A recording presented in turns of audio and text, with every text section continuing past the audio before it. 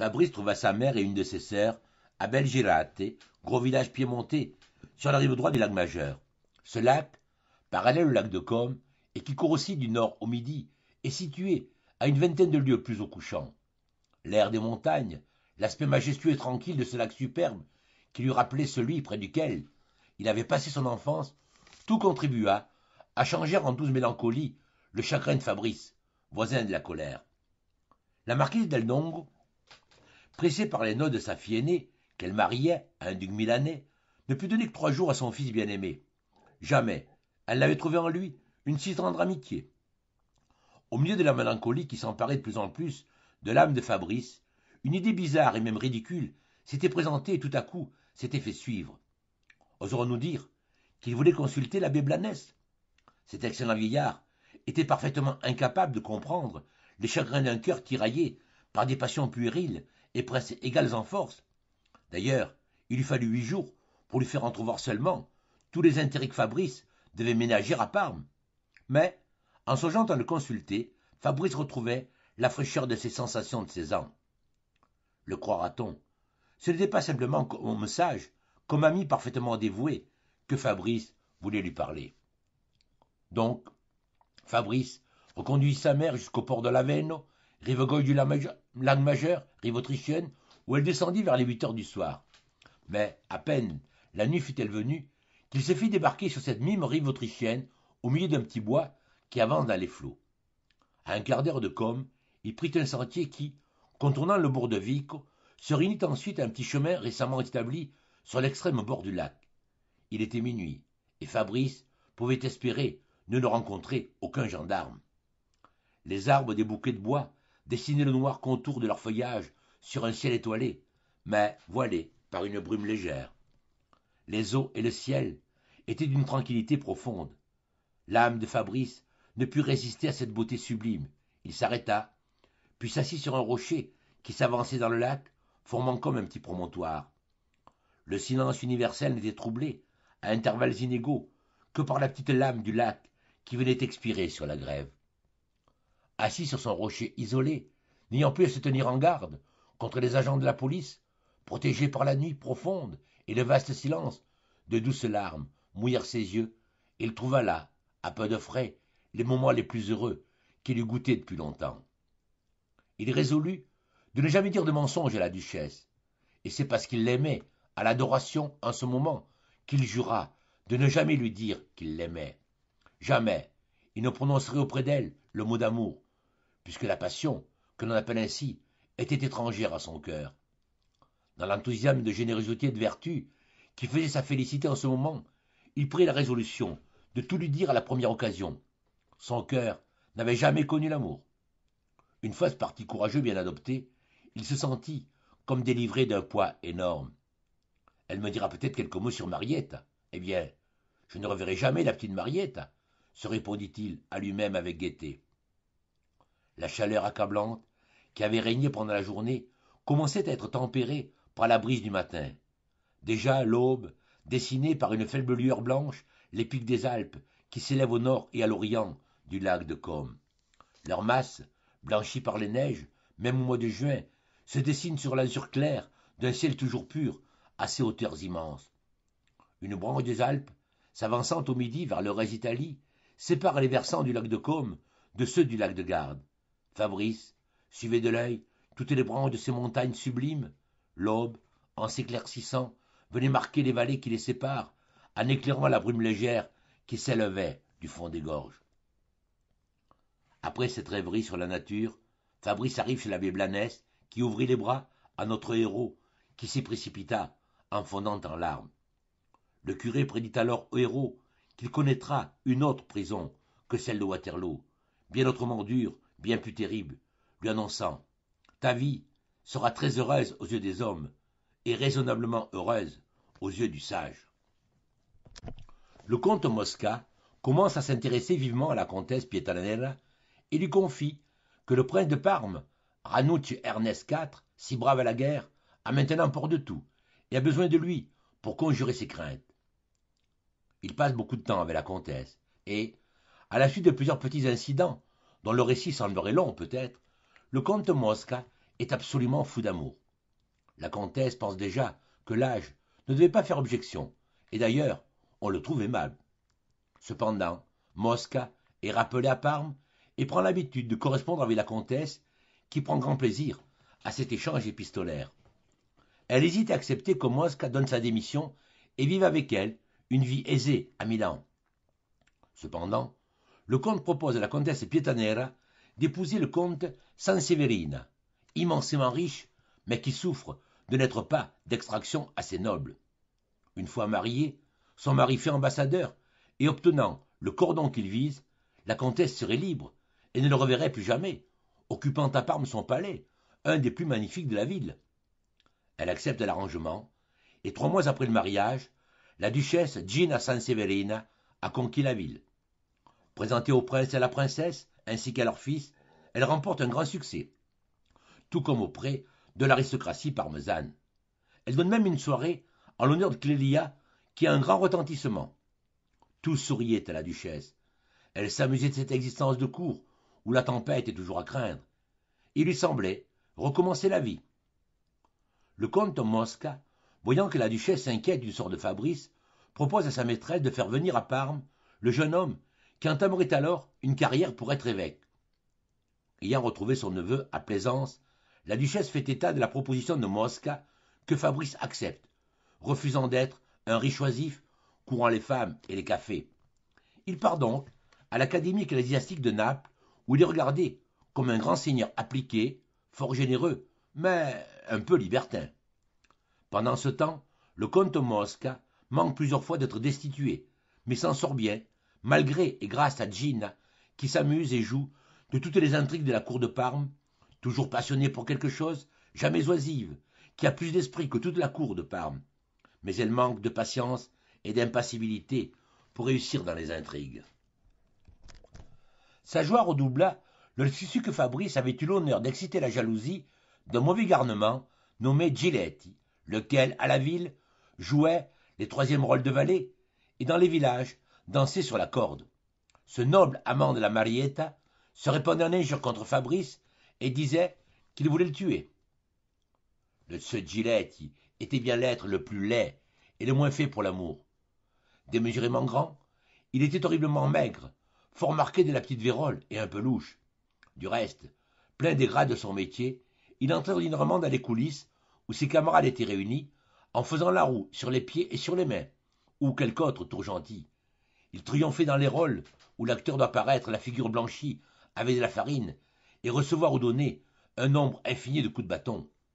Ce digne rival de Fabrice avait trente-deux francs d'appointement par mois et se trouvait fort riche. Il sembla au comte Mosca revenir des portes du tombeau quand ses observateurs lui donnèrent la certitude de tous ces détails. L'esprit aimable reparut. Il sembla plus gai et de meilleure compagnie que jamais dans le salon de la duchesse, et se garda bien de rien lui dire de la petite aventure qui le rendait à la vie. Il prit même des précautions pour qu'elle fût informée de tout ce qui se passait le plus tard possible. Enfin, il eut le courage d'écouter la raison qui lui criait en vain depuis un mois que toutes les fois que le mérite d'un amant pâlit, cet amant doit voyager. Une affaire importante l'appela à Bologne, et deux fois par jour, des courriers du cabinet lui apportaient bien moins les papiers officiels de ses bureaux que des nouvelles, des amours de la petite Marietta, de la colère du terrible Giletti et des entreprises de Fabrice. La fantaisie de Fabrice se changea en pique d'amour-propre. À son âge, les soucis l'avaient déjà réduit à avoir des fantaisies. La vanité le conduisait au spectacle. La petite fille jouait fort gaiement et l'amusait. Au sortir du théâtre, il était amoureux pour une heure. Le comte revint à Parme sur la nouvelle que Fabrice courait des dangers réels. Le Giletti, qui avait été dragon dans le beau régiment des dragons Napoléon, parlait sérieusement de tuer Fabrice et prenait des mesures pour s'enfuir ensuite en Romagne. Si le lecteur est très jeune, il se scandalisera de notre admiration pour ce beau trait de vertu. Ce ne fut pas cependant un petit effort d'héroïsme de la part du comte que celui de revenir de Bologne, car enfin, souvent, le matin, il avait le teint fatigué, et Fabrice avait tant de fraîcheur, tant de sérénité. Qui eût songé à lui faire un sujet de reproche de la mort de Fabrice, arrivé en son absence, et pour une si sotte cause? Mais il avait une de ces âmes rares qui se font un remords éternel d'une action généreuse qu'elles pouvaient faire et qu'elles n'ont pas faite. D'ailleurs, il ne put supporter l'idée de voir la duchesse triste, et par sa faute. Il la trouva, à son arrivée, silencieuse et morne. Voici ce qui s'était passé. La petite femme de chambre Tchékina, tourmentée par les remords, et jugeant de l'importance de sa faute par l'énormité de la somme qu'elle avait reçue pour la commettre, était tombée malade. Un soir, la duchesse, qui l'aimait, monta jusqu'à sa chambre. La petite fille ne put résister à cette marque de bonté. Elle fondit en larmes, voulut remettre à sa maîtresse ce qu'elle possédait encore sur l'argent qu'elle avait reçu, et enfin eut le courage de lui avouer les questions faites par le comte et ses réponses. La duchesse courut vers la lampe qu'elle éteignit, puis dit la petite Tchéquine qu'elle lui pardonnait, mais à condition qu'elle ne dirait jamais un mot de cette étrange scène à qui que ce fût. Le pauvre comte, ajouta-t-elle d'un air léger, craint le ridicule. Tous les hommes sont ainsi. La duchesse se hâta de descendre chez elle. À peine enfermée dans sa chambre, elle fondit en larmes. Elle trouvait quelque chose d'horrible dans l'idée de faire l'amour avec ce Fabrice qu'elle avait vu naître. Et pourtant, que voulait dire sa conduite? Telle avait été la première cause de la noire mélancolie dans laquelle le comte la trouva plongée. Lui arrivé, elle eut des accès d'impatience contre lui, et presque contre Fabrice. Elle eût voulu ne plus les revoir ni l'un ni l'autre. Elle était dépitée du rôle ridicule à ses yeux que Fabrice jouait auprès de la petite Marietta, car le comte lui avait tout dit, un véritable amoureux, incapable de garder un secret. Elle ne pouvait s'accoutumer à son malheur. Son idole avait un défaut. Enfin, dans un moment de bonne amitié, elle demanda conseil au comte. Ce fut pour celui-ci un instant délicieux et une belle récompense du mouvement honnête qu'il avait fait revenir à Parme. Quoi de plus simple, dit le comte en riant. Les jeunes gens veulent avoir toutes les femmes, puis le lendemain, ils n'y pensent plus. Doit-il pas aller à voir la marquise del Dongo Eh bien qu'il parte. Pendant son absence, je prierai la troupe comique de porter ailleurs ses talents. Je paierai les frais de route. Mais bientôt, nous le verrons amoureux de la première jolie femme que le hasard conduira sur ses pas. C'est dans l'ordre, et je ne voudrais pas le voir autrement. Si nécessaire, faites écrire par la marquise. L'âme de Fabrice était exaltée par les discours du vieillard, par la profonde attention et par l'extrême fatigue. Il eut grand-peine à s'endormir, et son sommeil fut agité de songes, peut-être présage de l'avenir. Le matin à dix heures, il fut réveillé par le tremblement général du clocher. Un bruit effroyable semblait venir du dehors. Il se leva éperdu et se crut à la fin du monde. Puis il pensa qu'il était en prison. Il fallut du temps pour reconnaître le son de la grosse cloche que quarante paysans mettaient en mouvement en l'honneur du grand saint Giovita. Dix auraient suffi. Fabrice chercha l'endroit convenable pour voir sans être vu. Il s'aperçut que de cette grande hauteur, son regard plongeait sur les jardins, et même sur la cour intérieure du château de son père. Il l'avait oublié. L'idée de ce père, arrivant au bornes de la vie, changeait tous les sentiments. Il distinguait jusqu'au moineau qui cherchait quelques miettes de pain sur le grand balcon de la salle à manger. Ce sont les descendants de ceux qu'autrefois j'avais apprivoisés, se dit-il. Ce balcon, comme tous les autres balcons du palais, était chargé d'un grand nombre d'orangers dans des vases de terre plus ou moins grands. Cette vue l'attendrit.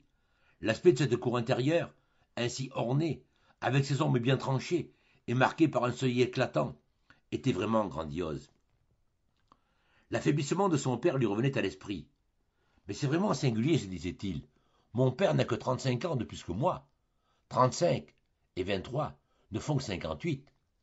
Ses yeux, fixés sur les fenêtres de la chambre de cet homme sévère et qui ne l'avait jamais aimé, se remplirent de larmes.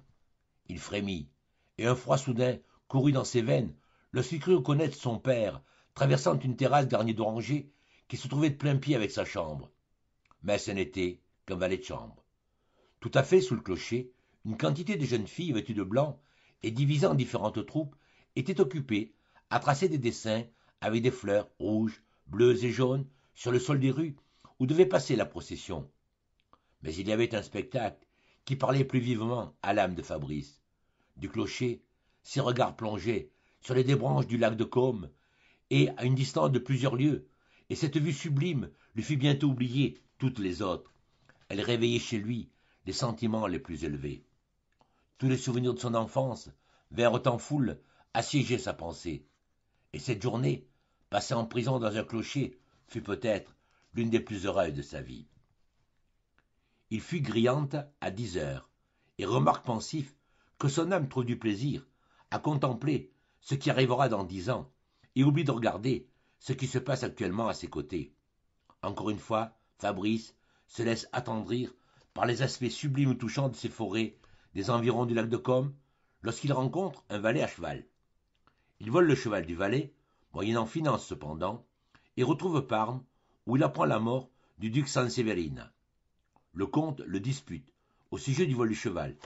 Fabrice, pour être sûr de n'être point rattrapé, aurait dû tuer le valet, lui dit-il, car, dans tous les temps, les villes Sancho pensa l'emporteront à la longue sur les sublimes Don Quichotte. Fabrice ne peut qu'acquiescer, mais son cœur ne pouvait s'accoutumer à l'image sanglante du beau jeune homme tombant de cheval défiguré. Fabrice rend ensuite visite à l'archevêque Landriani qui a l'intention de le nommer grand vicaire. Nous avouerons que, suivant l'exemple de beaucoup de graves auteurs, nous avons commencé l'histoire de notre héros une année avant sa naissance. Ce personnage essentiel n'est autre en effet que Fabrice Valsera, Marquesino del Dongo, comme on dit à Milan. Il venait justement de se donner la peine de naître lorsque les Français furent chassés, et se trouvait, par le hasard de la naissance, le second fils de ce marquis del Dongo si grand seigneur, et dont vous connaissez déjà le gros visage blême, le sourire faux et la haine sans borne pour les idées nouvelles. Toute la fortune de la maison était substituée au fils aîné, Ascanio Dongo, le digne portrait de son père. Il avait huit ans et Fabrice deux, lorsque tout à coup, ce général Bonaparte, que tous les gens bien nés croyaient pendu depuis longtemps, descendit du Mont Saint-Bernard. Il entra dans Milan. Ce moment est encore unique dans l'histoire. Figurez-vous tout un peuple amoureux fou. Peu de jours après, Napoléon gagna la bataille de Marengo. Le reste est inutile à dire. L'ivresse des Milanais fut au comble. Le marquis de l'Eldong fut des premiers à s'enfuir à son château de Grianta. Les chefs des grandes familles étaient remplis de haine et de peur, mais leurs femmes, leurs filles se rappelaient les joies du premier séjour des Français et regrettaient Milan et les balles si gaies qui, aussitôt après Marengo, s'organisèrent. Nous glissons sur dix années de progrès et de bonheur, de 1800 à 1810.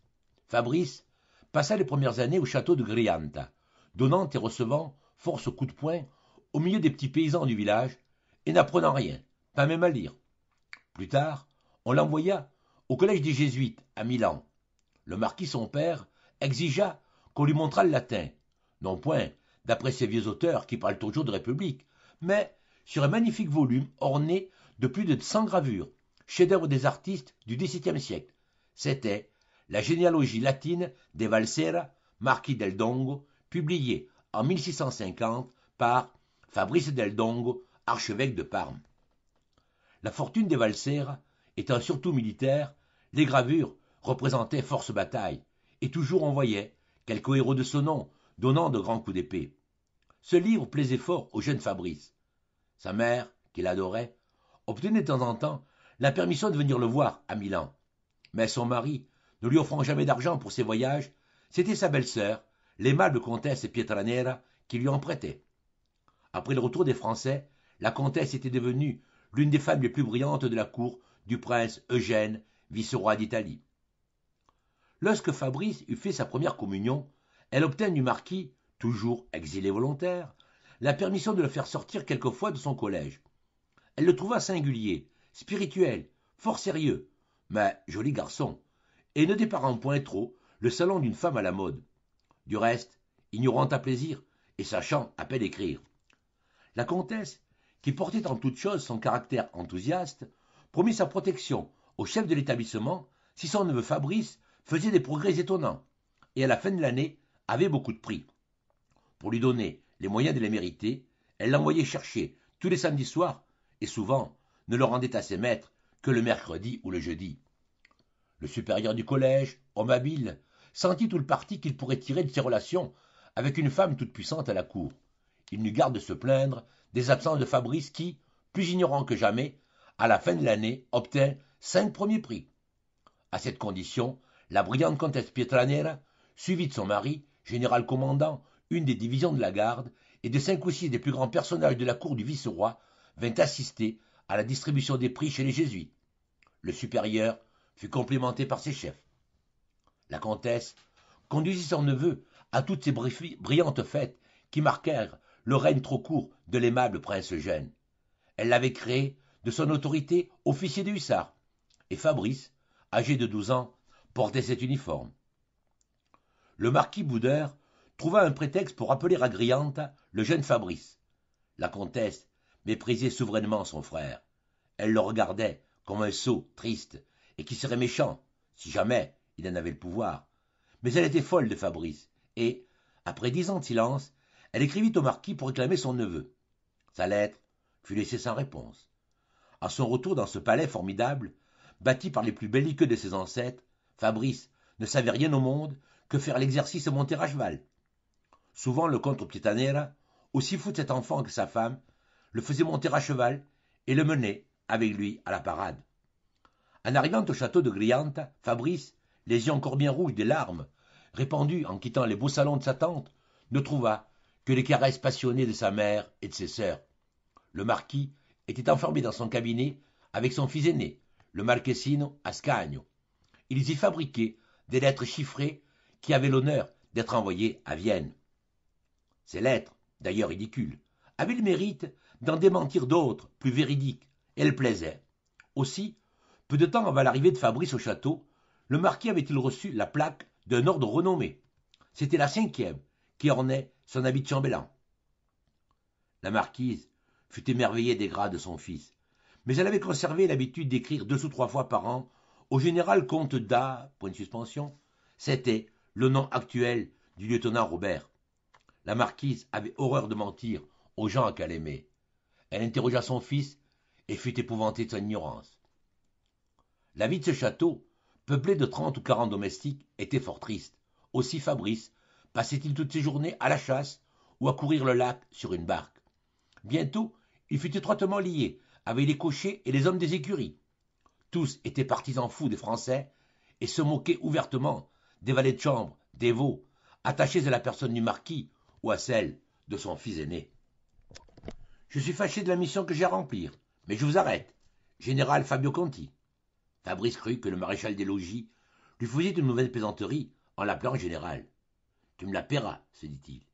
Il regardait les gendarmes et guettait le moment favorable pour sauter en bas de la voiture et se sauver à travers champs. La comtesse sourit à tout hasard, je crois, puis dit au maréchal des logis Mais, mon cher maréchal, est-ce donc cet enfant de seize ans que vous prenez pour le général Conti N'êtes-vous pas la fille du général? dit le maréchal des logis. Voyez mon père, dit la comtesse, en montrant Fabrice. Les gendarmes furent saisis d'un rire fou.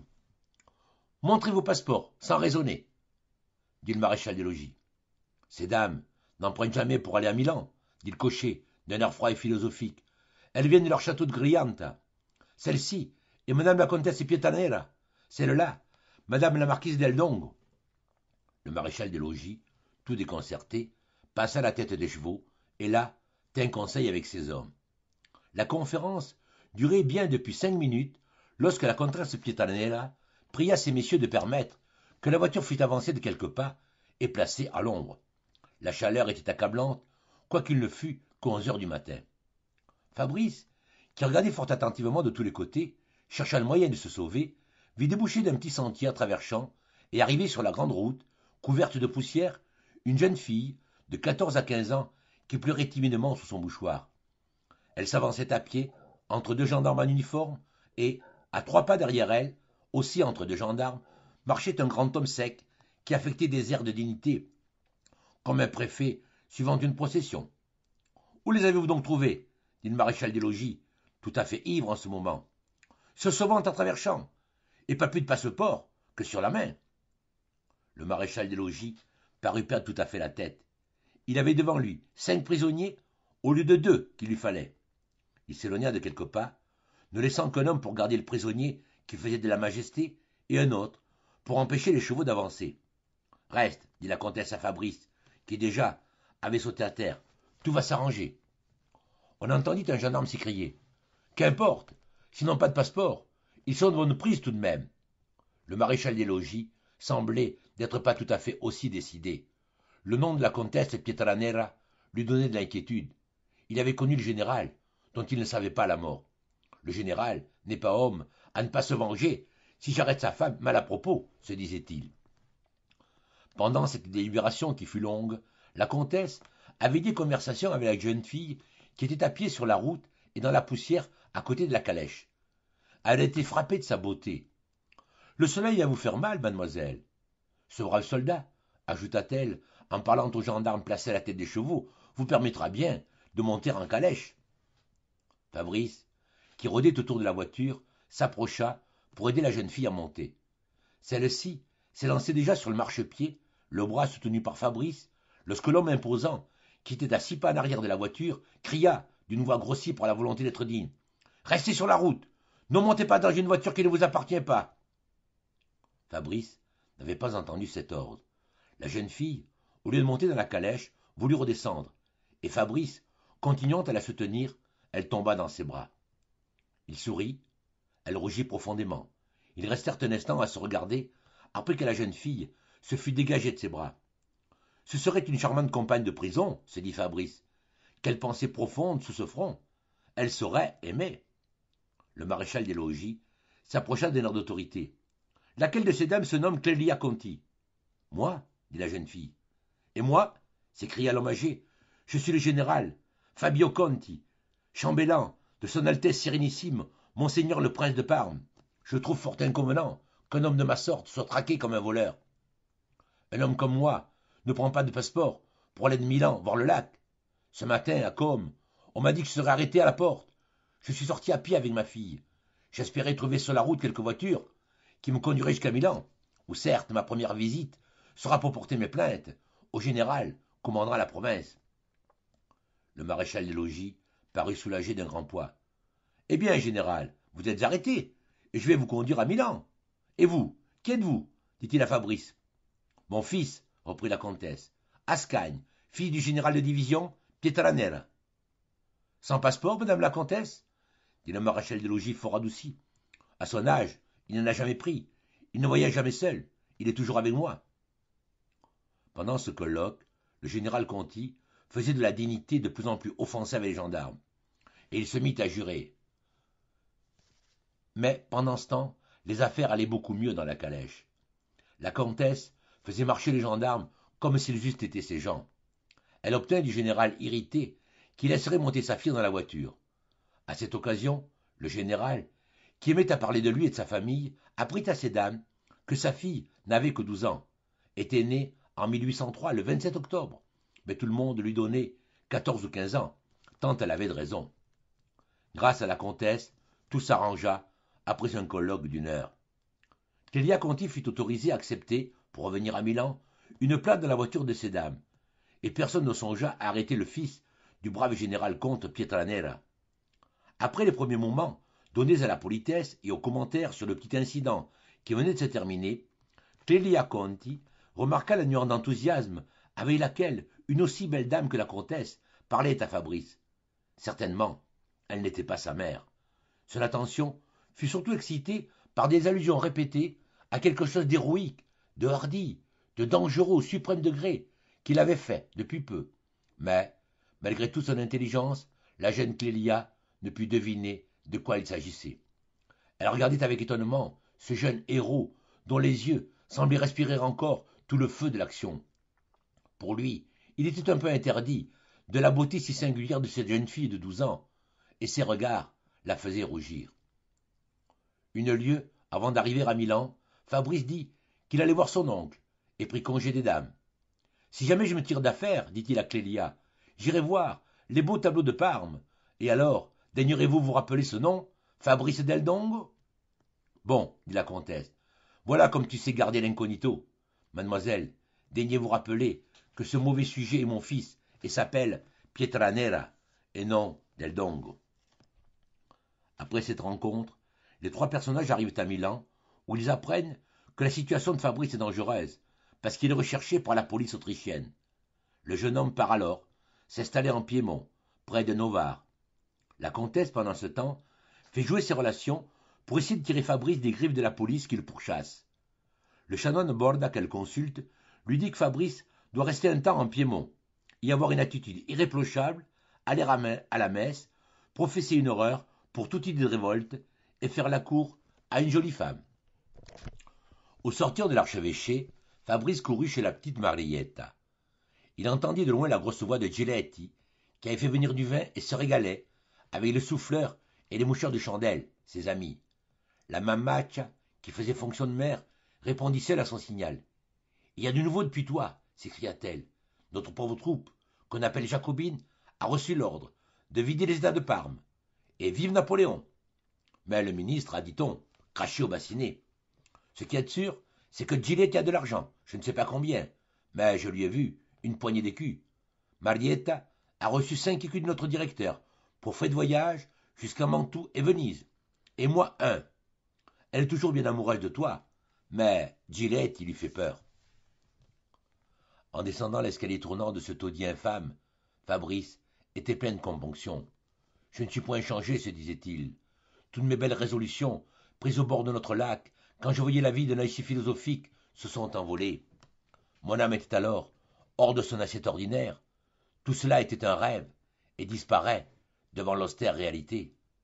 Ce serait le moment d'agir, se dit Fabrice, en rentrant au palais San Severina sur les onze heures du soir. Mais ce fut en vain qu'il chercha dans son cœur le courage de parler avec cette sincérité sublime qui lui semblait si facile la nuit qu'il passa aux rives du lac de Côme. Je vais fâcher la personne que j'aime le mieux au monde. Si je parle, j'aurai l'air d'un mauvais comédien. Je ne vaux réellement quelque chose que dans de certains moments d'exaltation. Le comte est admirable pour moi, dit-il à la duchesse, après lui avoir rendu compte de la visite de l'archevêché. J'apprécie d'autant plus sa conduite que je crois m'apercevoir que je ne lui plais que fort médiocrement. Ma façon d'agir doit donc être correcte à son égard. Il a ses fouilles de sanguine, dont il est toujours fou, en juger du moins par son voyage d'avant-hier. Il a fait douze lieues au galop pour passer deux heures avec ses ouvriers.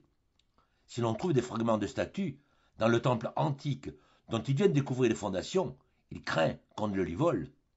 J'ai envie de lui proposer d'aller passer trente-six heures à Sanguigne. Demain, vers les cinq heures, je dois revoir l'archevêque. Je pourrais partir dans la soirée et profiter de la fraîcheur de la nuit pour faire la route. La duchesse ne répondit pas d'abord. On dirait que tu cherches des prétextes pour t'éloigner de moi, lui dit-elle ensuite, avec une extrême tendresse. À peine de retour de Belgérate, tu trouves une raison pour partir. Voici une belle occasion de parler, se dit Fabrice. Mais sur le lac, j'étais un peu fou. Je ne me suis pas aperçu dans mon enthousiasme de sincérité que mon compliment finit par une impertinence. Il s'agirait de dire Je t'aime, de l'amitié la plus dévouée, etc., etc. Mais mon âme n'est pas susceptible d'amour. N'est-ce pas dire Je vois que vous avez de l'amour pour moi, mais prenez garde, je ne puis vous payer en même monnaie. C'est là de l'amour. La duchesse peut se fâcher d'être devinée. Elle sera révoltée de mon impudence si elle n'a pour moi qu'une amitié toute simple. Et ce sont de ces offenses qu'on ne pardonne point. Pendant qu'il pesait ces idées importantes, Fabrice, sans s'en apercevoir, se promenait dans le salon, d'un air grave et plein de hauteur, un homme qui voit le malheur à dix pas de lui. La duchesse le regardait avec admiration. Ce n'était plus l'enfant qu'elle avait vu naître, ce n'était plus le neveu, toujours prêt à lui obéir. C'était un homme grave, et duquel il serait délicieux de se faire aimer.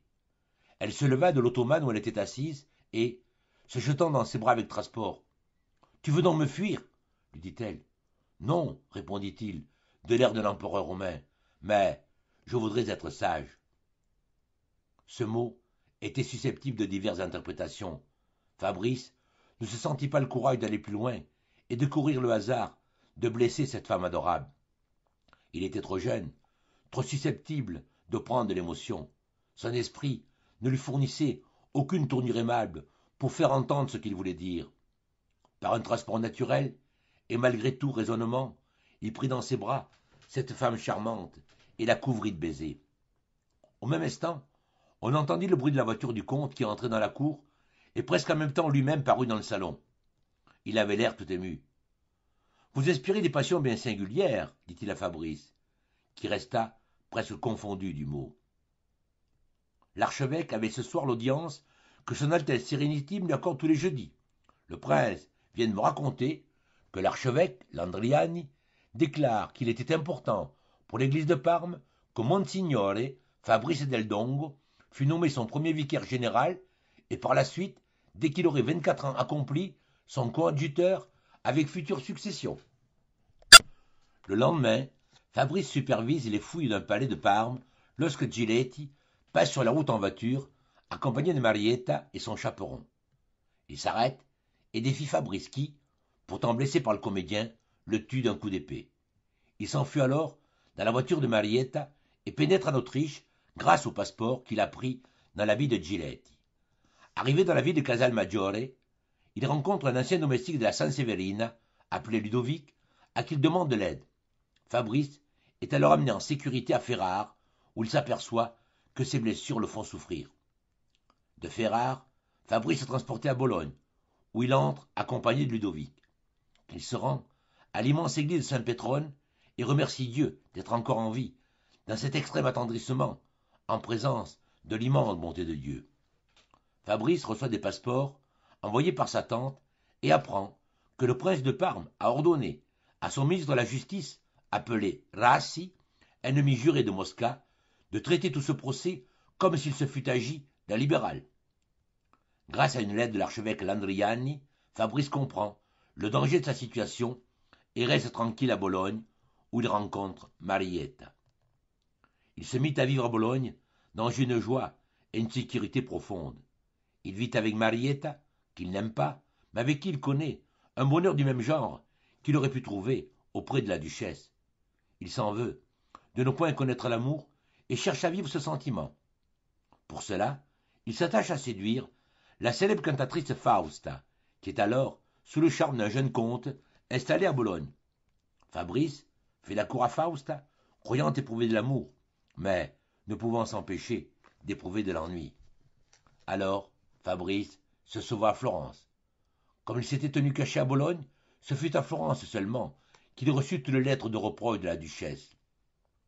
Moins de deux mois après, Fabrice osa revenir à Bologne, plus convaincu que jamais que sa destinée le condamnait à ne jamais connaître la partie noble et intellectuelle de l'amour. C'est ce qu'il se donna le plaisir d'expliquer fort au long à la duchesse.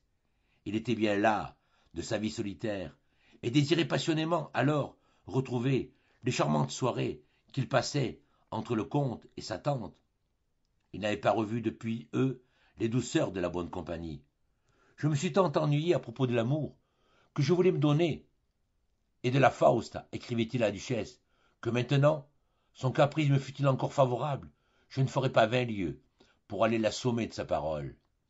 Ainsi, ne crains pas, comme tu le dis, que j'aille jusqu'à Paris, où je vois qu'elle débute avec un succès fou. Je ferai tous les lieux possibles pour passer une soirée avec toi et avec ce comte, si bon pour ses amis.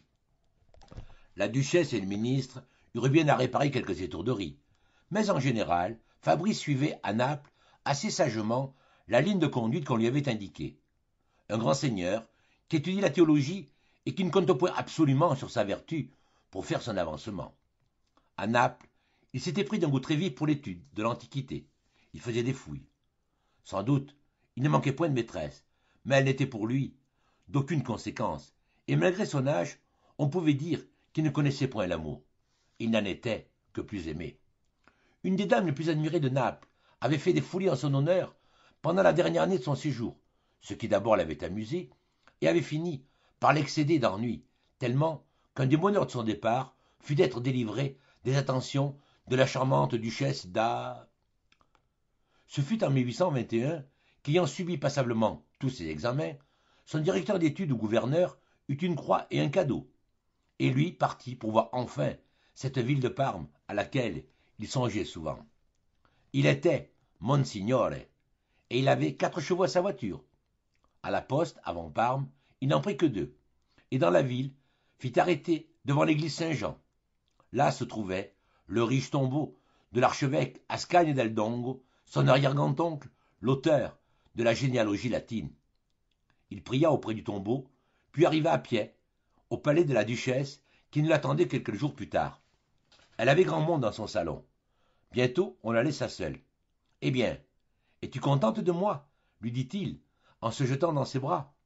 Grâce à toi, j'ai passé quatre années assez heureuses à Naples.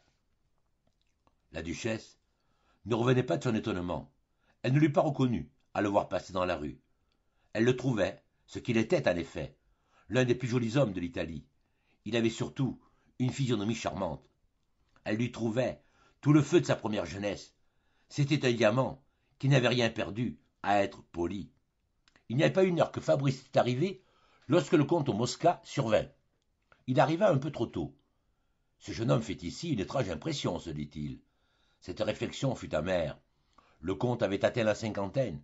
C'est un mot bien cruel, et dont peut-être un homme éperdument amoureux peut seul sentir tout le retentissement.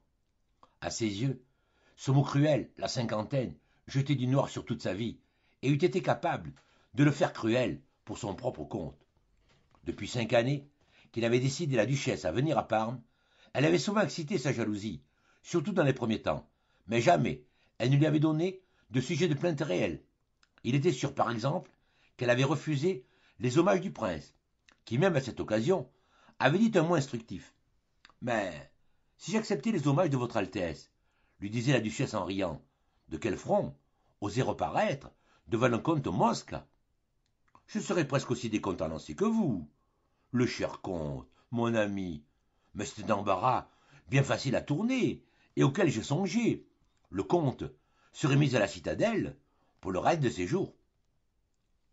Au moment de l'arrivée de Fabrice, la duchesse fut tellement transportée de bonheur qu'elle ne songea pas du tout aux idées que ses yeux pourraient donner au comte.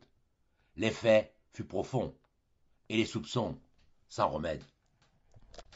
Le lendemain de cette horrible soirée, après une nuit passée tantôt à se détailler les avantages de Fabrice, tantôt dans les affreux transports de la plus cruelle jalousie, le comte eut l'idée de faire appeler un jeune valet de chambre à lui. Cet homme faisait la cour à une jeune fille nommée Tchékine, l'une des femmes de chambre de la duchesse et sa favorite. Une heure plus tard, le comte parut à l'improviste dans la chambre où cette fille se trouvait avec son prétendu. Le comte les effraya tous deux par la quantité d'or qu'il leur donna, puis il adressa ce peu de mots à la tremblante Tchékine en la regardant entre les deux yeux. La duchesse fait-elle l'amour avec Monsignore Non, dit cette fille, prenant sa résolution après un moment de silence. Non, pas encore. Mais il baise souvent les mains de madame, en riant, il est vrai, mais avec transport. Ce témoignage fut complété par sa réponse à autant de questions furibondes du comte. Sa passion inquiète fit bien gagner à ses pauvres gens l'argent qu'il leur avait jeté. Il finit par croire à ce qu'on lui disait et fut moins malheureux.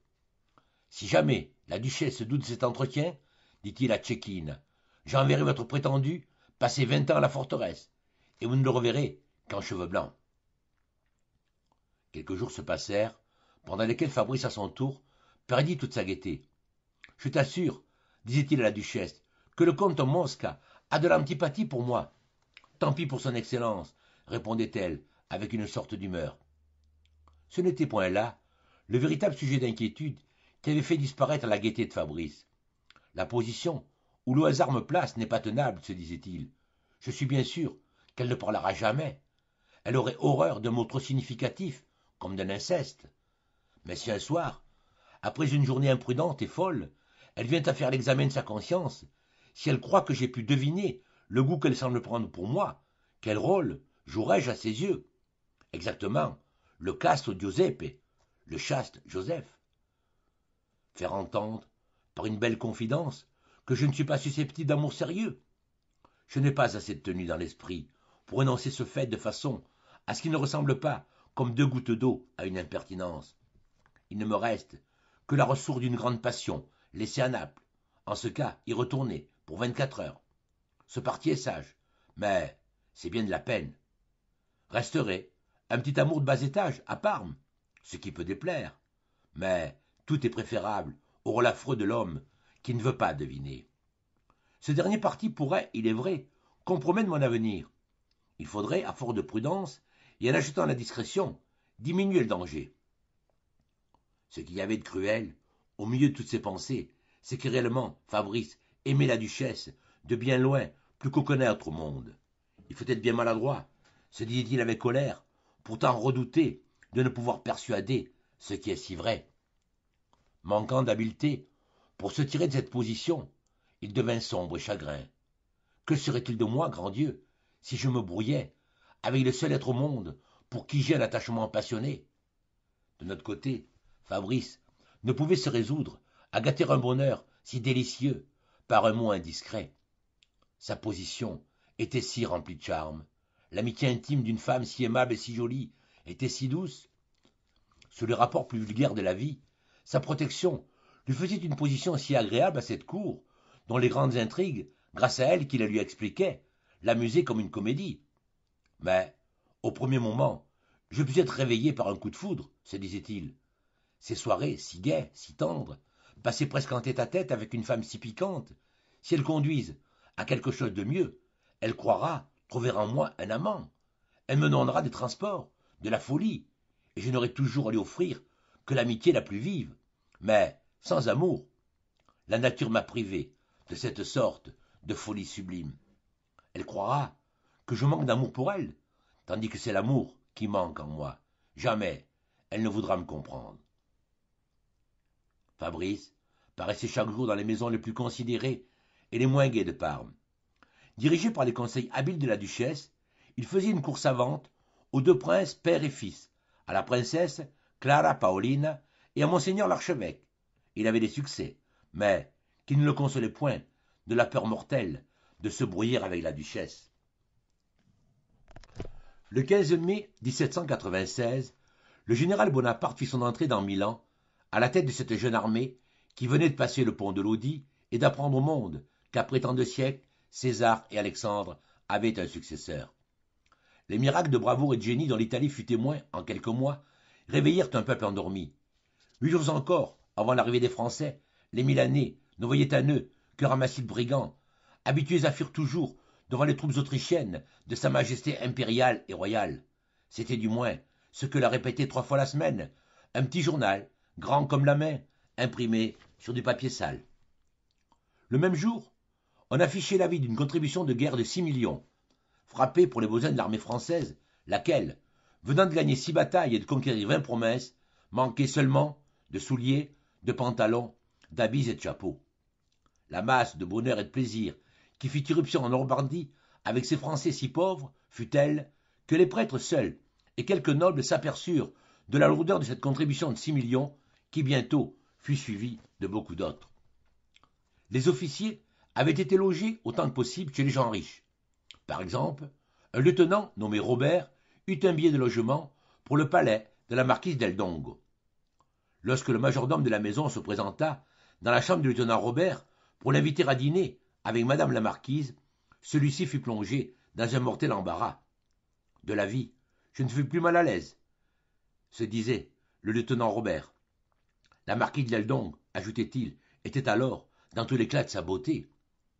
La marquise, pour se donner un peu de courage, avait envoyé prendre au couvent, où elle était pensionnaire en ce temps-là, Gina del Dongo, sœur de son mari, qui fut depuis cette charmante comtesse Pietranera. Personne dans la prospérité ne la surpassa par la gaieté et l'esprit aimable, comme personne ne la surpassa par le courage et la sérénité d'âme dans la fortune contraire. Gina pouvait avoir alors treize ans, mais en paraissait dix-huit. Huit jours après, racontait Robert, quand il fut bien avéré que les Français ne guillotinaient personne, le marquis d'Eldong revint de son château de Grianta, sur le lac de Côme, où bravement il s'était réfugié à l'approche de l'armée, abandonnant au hasard de la guerre sa jeune femme si belle et sa sœur. La haine que ce marquis avait pour nous avait été égale à sa peur, c'est-à-dire incommensurable. L'histoire du lieutenant Robert fut à peu près celle de tous les Français. Au lieu de se moquer de la misère de ces braves soldats, on en eut pitié, et on les aima. Cette époque de bonheur imprévu et d'ivresse ne dura que deux petites années. Le marquis d'Eldongo avait été un des premiers à regagner son magnifique château de Grianta, au-delà de Côme, où les dames menèrent le lieutenant Robert. Ce château, situé dans une position peut-être unique au monde, sur un plateau à cent cinquante pieds au-dessus de ce lac sublime, dont il domine une grande partie, avait été une place forte. La famille d'Eldong le fit construire au XVe siècle. Le marquis avait laissé sa jeune femme à Milan. Elle y dirigeait les affaires de la famille. Elle était chargée de faire face aux contributions imposées à la case d'Eldong, comme on disait dans le pays. Le marquis avait arrangé le mariage de sa jeune sœur Gina avec un personnage fort riche et de la plus haute naissance. Et bientôt, elle fit la folie d'épouser le comte Pietanera. C'était un fort bon gentilhomme, très bien fait de sa personne, mais ruiné de père en fils, et, pour comble de disgrâce, partisan fougueux des idées nouvelles. Pietranera était sous-lieutenant de la Légion italienne, surcroît de désespoir pour le marquis. Après ces deux années de folie et de bonheur, le lieutenant Robert, devenu chef de bataillon et blessé à la bataille de Cassano, vint loger pour la dernière fois chez son ami, la marquise del Dongo. Les adieux furent tristes. Robert partit avec le comte Pietanera qui suivait les Français dans leur retraite sur Novi. La jeune comtesse suivit l'armée montée sur une charrette. Alors commença cette époque de réaction et de retour aux idées anciennes que les Milanais appellent i mesi, les treize mois, parce qu'en effet, leur bonheur voulut que ce retour à la sottise ne durera que treize mois jusqu'à Marengo. Parmi ces hommes qui étaient allés bouder dans leur terre et qui revenaient, altérés de vengeance, le marquis d'Eldong se distinguait par sa fureur. Comme il joignait une avarice sordide à une foule d'autres belles qualités, il se vanta publiquement de ne pas envoyer un écu à sa sœur, la comtesse Pietranera. Toujours folle d'amour, elle ne voulait pas quitter son mari, et mourait de faim en France avec lui. La bonne marquise d'Eldongo était désespérée. Pendant les treize mois que les Français passèrent hors de Milan, cette femme si timide trouva des prétextes et ne quitta pas le noir. Voici, reliés par des résumés empruntés à la toile, de larges extraits de la première partie du roman que Stendhal écrivit en un mois et demi et publia en 1839, La Chartreuse de Parme. La comtesse Gina Pietranera, en revanche, voit, avec le départ des Français, sa situation s'effondrer, jusqu'à la mort de son mari. Elle a alors 31 ans et elle est recueillie par sa belle-sœur au château de Riante où elle profite des dieux enchanteurs voisins. Grâce à elle, l'ennui, tout étonné, était banni du château féodal. Le 7 mars 1815, on apprend le débarquement de Napoléon au golfe de Juan. Fabrice décide alors de rejoindre les armées françaises et annonce sa décision à sa mère et à sa tante. Il explique sa décision par un présage, la vision d'un aigle se dirigeant vers la Suisse, où il voit un signe de sa destinée. Je pars, je vais rejoindre l'empereur, qui est aussi roi d'Italie. Il gagne Paris et tente en vain de voir l'empereur avant de rejoindre l'armée qui se rassemble vers Maubeuge. Arrivé à la frontière, il rencontre un bivouac des soldats qui le regardent avec soupçon et le prennent pour un espion. Il est alors jeté en prison où il passe 33 longues journées. La femme du geôlier, qui s'est pris d'affection pour lui, le fait évader, lui fournit un uniforme de hussard et le jeune homme se retrouve sur la route de Waterloo. Après la nuit, sur les cinq heures, il entendit la canonnade. C'étaient les préliminaires de Waterloo. Fabrice rencontre une cantinière qui, touchée par sa candeur, lui donne des conseils et le prend sous son aile. Il finit, grâce à elle, par rejoindre l'escorte du maréchal Ney qui l'accompagne jusqu'à ce que le bruit des canons retentisse. Nous avouerons que notre héros était fort peu héros en ce moment. Les hommes tombent autour de Fabrice, qui se réjouit d'assister enfin à une vraie bataille autour de soldats dont il se sent très proche. Jusqu'à ce qu'on lui vole son cheval et qu'ils doivent se défaire de tous ces beaux rêves d'amitié chevaleresque et sublime. Dès lors, il erre, perdu sur le champ de bataille, avant de retrouver sa cantinière du matin qu'il recueille. À peine à la voiture, notre héros, excédé de fatigue, s'endormit profondément. Fabrice se réveille alors que les Français sont en déroute. Recueilli par le caporal Aubry, il tue son premier Prussien puis participe à la retraite en pagaille. Ayant dérobé un cheval, il retrouve la cantinière qui, aidé du caporal Aubry, tente d'expliquer à Fabrice qu'il doit se cacher, et surtout ne pas dévoiler qu'il a participé à la bataille. Pendant ce temps, la grande question que se pose le jeune homme est de savoir s'il a ou non assisté à une bataille. Il lui semblait que oui, et il eût été au comble du bonheur s'il en eût été certain. Fabrice rencontre ensuite un officier, le colonel Le Baron, qui lui demande de surveiller un pont. Il s'acquitte de sa tâche avec maladresse, ce qui lui vaut des coups d'épée de cavalier qui veulent forcer le passage. Fabrice, blessé au bras et à la cuisse, est amené dans une auberge afin d'être soigné.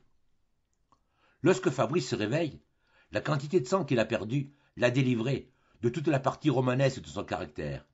Il se remet en route et manque se trouver mal alors qu'il parvient au village de Zonder. Il est recueilli par un aubergiste, sa femme et ses filles, qui s'occupent de lui et le soignent. Risquant d'être dénoncé et repris par la police prussienne comme ancien soldat de Waterloo, il parvient à Amiens, où il se pose toujours la question de savoir s'il a ou non assisté à une vraie bataille. La comtesse Pietranera lui envoie une lettre lui enjoignant de s'arrêter à Lugano, en territoire suisse, lorsqu'il reviendra vers Griante. En effet, il a été dénoncé par son frère aîné Ascagne comme espion à la solde de Napoléon. À la faveur d'une nuit, il rend cependant visite à sa tante et à sa mère, qui les maintiennent cachés pendant une journée avant de partir avec lui pour Milan. Arrivé aux portes de la ville, la voiture de la marquise, de sa belle-sœur et de Fabrice est arrêtée par des gendarmes. À son retour de France, Fabrice parut aux yeux de la comtesse Pietalanera comme un bel étranger qu'elle eût beaucoup connu jadis. S'il lui parlait d'amour, elle l'eût aimé. N'avait-elle pas déjà pour sa conduite et sa personne une admiration passionnée et pour ainsi dire sans borne Mais Fabrice l'embrassait avec une telle effusion d'innocente reconnaissance et de bonne amitié qu'elle se fût fait horreur à elle-même si elle cherchait un autre sentiment dans cette amitié presque filiale. Au fond, se disait la comtesse, quelques amis qui m'ont connu il y a six ans, à la cour du prince Eugène, peuvent encore me trouver jolie et même jeune. Mais pour lui, je suis une femme respectable, et, s'il faut tout dire sans nul ménagement, pour mon amour propre, une femme âgée. La comtesse se faisait illusion sur l'époque de la vie où elle était arrivée, mais ce n'était pas la façon des femmes vulgaires. À son âge d'ailleurs, ajoutait-elle, on s'exagère un peu les ravages du temps. Un homme plus avancé dans la vie. Lorsque Fabrice était parti, elle espérait peu de l'avenir. Son cœur avait besoin de consolation et de nouveautés. Arrivée à Milan, elle se prit de passion pour l'opéra à la mode. Un soir, à la Scala, dans la loge d'une de ses amies, où elle allait chercher des nouvelles de France, on lui présenta le comte Mosca, ministre de Parme. C'était un homme aimable et qui parla de la France de Napoléon de façon à donner à son cœur de nouvelles raisons pour espérer ou pour craindre. Elle retourna dans cette loge le lendemain. Cet homme d'esprit devint, et tout le temps du spectacle, elle lui parla avec plaisir. Depuis le départ de Fabrice pour la France, elle n'avait pas trouvé une soirée vivante comme celle-là. Cet homme qui l'amusait, le comte à Mosca della Rovere Sorezana, était alors ministre de la guerre, de la police et des finances, de ce fameux prince de Parme, Ernest IV, si célèbre par ses sévérités que les libéraux de Milan appelaient des cruautés. Mosca pouvait avoir quarante ou quarante-cinq ans. Il avait de grands traits, aucun vestige d'importance, et un air simple et gai qui prévenait en sa faveur. La franchise, la disinvoltura, avec laquelle parlait ce ministre d'un prince si redouté, piqua la curiosité de la comtesse. Mosca lui avait promis de lui faire parvenir toutes les nouvelles de France qu'il pourrait recueillir. C'était une grande indiscrétion à Milan, dans le mois qui précéda Waterloo. Il s'agissait alors pour l'Italie d'être ou de n'être pas. Le comte à Mosca della Rovere Sorezana, lui dit-on, est sur le point de devenir Premier ministre et favori déclaré de Ranucci Ernest IV, souverain absolu de Parme, et de plus l'un des princes les plus riches de l'Europe. Ainsi, moins d'un mois seulement, après son arrivée à la cour, Fabrice avait tous les chagrins d'un courtisan, et l'amitié intime qui faisait le bonheur de sa vie était empoisonnée. Un soir, tourmenté par ses idées, il sortit de ce salon de la duchesse où il avait trop l'air d'un amant régnant. Errant au hasard de la ville, il passa devant le théâtre qu'il vit éclairé. Il entra. Au théâtre, il prit une loge du troisième rang pour n'être pas vu. L'en donnait la jeune hôtesse de Goldogne. Fabrice jeta les yeux sur la jeune actrice qui faisait le rôle de l'hôtesse. Il la trouva drôle. Il regarda avec plus d'attention. Elle lui sembla tout à fait gentille, et surtout remplie de naturel. Il demanda comment elle s'appelait. On lui dit Marietta Valsera. Ah, pensa-t-il, elle a pris mon nom, c'est singulier. Il ne quitta le théâtre qu'à la fin de la pièce. Le lendemain, il revint. Trois jours après, il savait l'adresse de la Marietta Valsera. Le soir même du jour où il s'était procuré cette adresse, avec assez de peine, il remarqua que le comte lui faisait une mine charmante. Le pauvre amant jaloux, qui avait toutes les peines du monde à se tenir dans les bornes de la prudence, avait mis des espions à la suite du jeune homme, et son équipé du théâtre lui plaisait.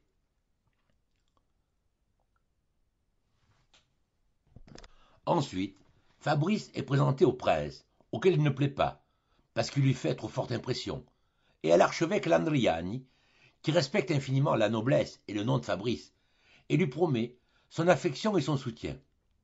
Le comte Mosca reçoit une lettre anonyme faite sur l'instigation du prince, dénonçant l'amour qu'il croit deviner entre la duchesse Sanseverina et son neveu. La lettre atteint son but, et Mosca pense devenir fou en apercevant la complicité qui unit Fabrice et sa tante. Voici la question, reprenait-il avec rage.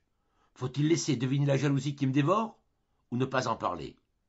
Si je me tais, on ne se cachera point de moi. Je connais Jean, c'est une femme toute de premier mouvement. Sa conduite est imprévue, même pour elle. Si elle veut se tracer un rôle d'avance, elle s'embrouille. Toujours au moment de l'action, il lui vient une nouvelle idée qu'elle suit avec transport, comme étant ce qu'il y a de mieux au monde, et qui gâte tout. Ne disant mot de mon martyr, on ne se cache point de moi, et je vois tout ce qui peut se passer. Oui, mais en parlant, je fais naître d'autres circonstances, je fais faire des réflexions, je préviens beaucoup de ces choses horribles qui peuvent arriver. Peut-être on l'éloigne. Le comte respira. Alors, j'ai presque parti gagné. Quand même, on aurait un peu d'humeur dans le moment, je la calmerai. Et cette humeur, quoi de plus naturel? Elle l'aime comme un fils depuis quinze ans. Là gît tout mon espoir, comme un fils. Mais elle a cessé de le voir depuis sa fuite au Waterloo. Mais en revenant de Naples, surtout pour elle, c'est un autre homme. Un autre homme, répéta-t-il avec rage. Et cet homme est charmant. Il a surtout cet air naïf et tendre, et cet œil souriant, qui promettent tant de bonheur. Et ces yeux-là, la duchesse ne doit pas être accoutumée à les trouver à notre cour. Ils y sont remplacés par le regard morne ou sardonique. Moi-même, poursuivi par les affaires, ne régnant que par mon influence sur un homme qui voudrait me tourner en ridicule, quel regard dois-je avoir souvent? Ah, quelque soin que je prenne, c'est surtout mon regard qui doit être vieux en moi. Ma gaieté n'est-elle pas toujours voisine de l'ironie? Je dirais plus, ici il faut être sincère, ma gaieté ne laisse-t-elle pas entrevoir, comme chose toute proche, le pouvoir absolu et la méchanceté? Est-ce que quelquefois je ne me dis pas moi-même, surtout quand on m'irrite, je puis ce que je veux? Et même, j'ajoute une sottise, je dois être plus heureux qu'un autre, puisque je possède ce que les autres n'ont pas, le pouvoir souverain dans les trois quarts des choses.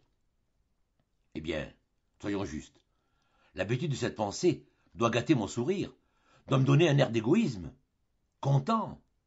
Et comme son sourire à lui est charmant, il respire le bonheur facile de la première jeunesse, et il le fait naître.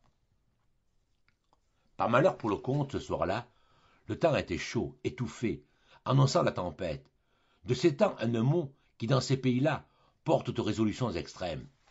Comment rapporter tous les raisonnements, toutes les façons de voir ce qui lui arrivait, qui, durant trois mortelles heures, mirent à la torture cet homme passionné? Enfin, le parti de la prudence l'emporta, uniquement par suite de cette réflexion. Je suis fou, probablement. En croyant raisonner, je ne raisonne pas. Je me retourne seulement pour chercher une position moins cruelle. Je passe sans l'avoir à côté de quelques raisons décisives. Puisque je suis aveuglé par l'excessive douleur, suivant cette règle, approuvée de tous les gens sages, qu'on appelle prudence. Le marquis professait une haine vigoureuse pour les Lumières, ce sont les idées, disait-il, qui ont perdu l'Italie. Il ne savait trop comment concilier cette sainte horreur de l'instruction avec le désir de voir son fils Fabrice perfectionner l'éducation si brillamment commencée chez les jésuites. Pour courir le moins de risques possible, il chargea le bon abbé Blanes, curé de Grianta, de faire continuer à Fabrice ses études en latin. Il fallut que le curé lui-même sût cette langue. Or, elle était l'objet de ses mépris. Ses connaissances en ce genre se bornaient à réciter par cœur les prières de son missel, dont il pouvait rendre à peu près le sens à ses ouailles. Mais ce curé n'en était pas moins fort respecté et même redouté dans le canton. Le fait est que l'abbé Blanès, personnage d'une honnêteté et d'une vertu primitive, et de plus homme d'esprit, passait toutes les nuits au haut de son clocher. Il était fou d'astrologie. Les paysans redoutaient l'abbé Blanès comme un grand magicien. Le marquis d'Eldongo le méprisait tout simplement parce qu'il raisonnait trop pour un homme de si bas étage. Fabrice l'adorait. Pour lui plaire, il passait quelquefois des soirées entières à faire des additions ou des multiplications énormes. Puis il montait au clocher. C'était une grande faveur, et que l'abbé Blanès n'avait jamais accordé à personne. Mais il aimait cet enfant pour sa naïveté. Si tu ne deviens pas un hypocrite, lui disait-il, peut-être tu seras un homme. Le marquis sentait qu'un accident arrivé à sa correspondance chiffrée pouvait le mettre à la merci de sa sœur. Aussi tous les ans, à l'époque de la Sainte Angela, fête de la comtesse Pietranera, Fabrice obtenait la permission d'aller passer huit jours à Milan. Il vivait toute l'année dans l'espérance ou le regret de ces huit jours.